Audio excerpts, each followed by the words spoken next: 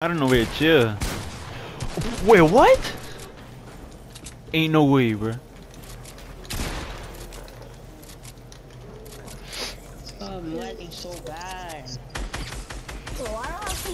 Oh, he just got beamed.